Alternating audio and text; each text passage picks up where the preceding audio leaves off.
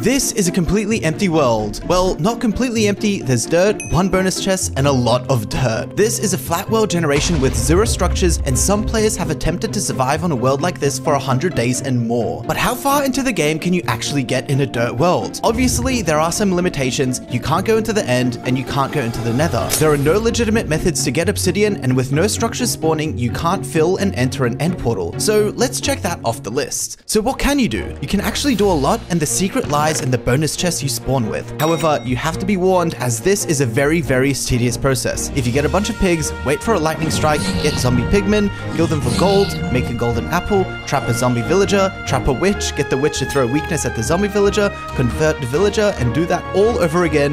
You can infinitely breed villagers, essentially giving you access to the whole of Minecraft.